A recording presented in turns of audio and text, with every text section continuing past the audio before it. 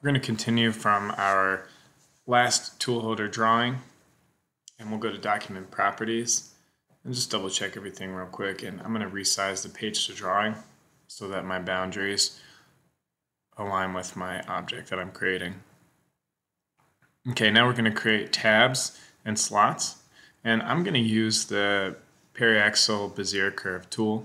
Since my material is 5 millimeters thick and my grid is 5 millimeters thick, I'm going to sit all of my edges on top. So everything's going to fold in and sit on top of my base. And that will allow me to make all of my tabs within the size of my nominal dimensions.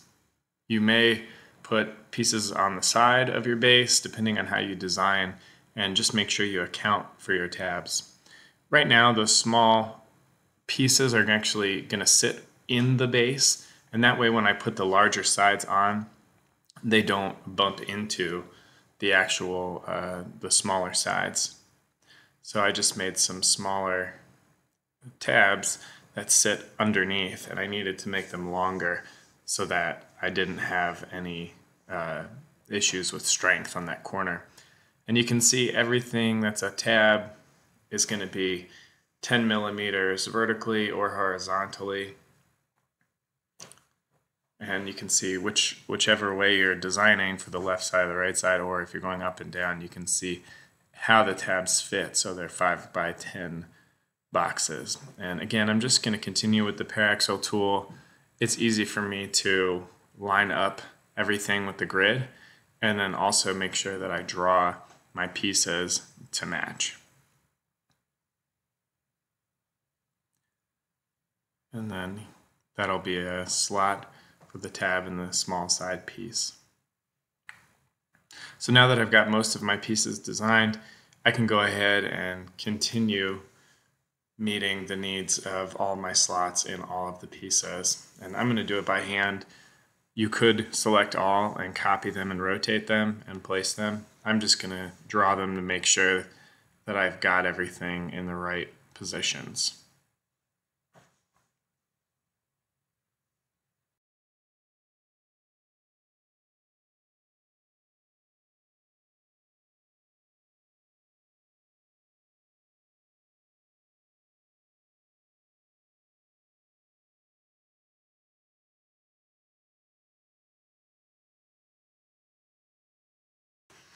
Okay, now that I've drawn all of my slots and tabs, I'm going to remove all of the lines so I don't cut them off with a laser cutter. And then I will just connect them individually to make sure that I have the right gaps. I need to actually cut that small tab because it's going to separate the two pieces.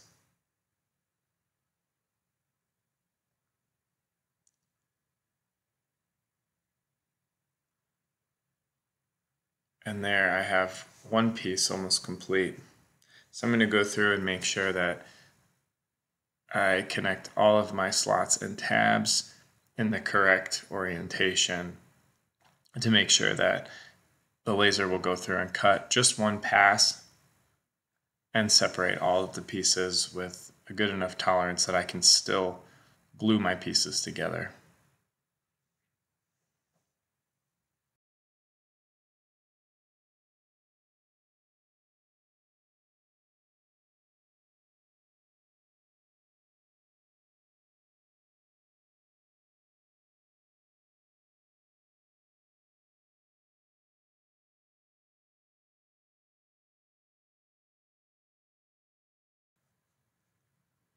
Now you can start to see the design come together and this is where you can check to make sure that all of the pieces are going to fit in the orientation that you have decided upon.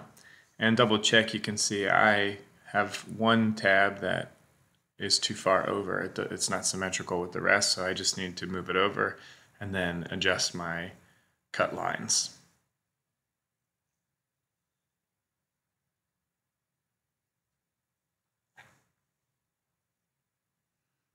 Okay, my drawing is complete. I'm gonna select everything real quick and then double check my stroke. All my black lines will become red because everything is going to get cut And uh, I'm going to use 0.2 millimeters so you can see the stroke width. And that's ready for the laser cutter. I'm going to save my design. And then I'm ready to go to extensions and Win32 vector print in order to laser cut from Inkscape.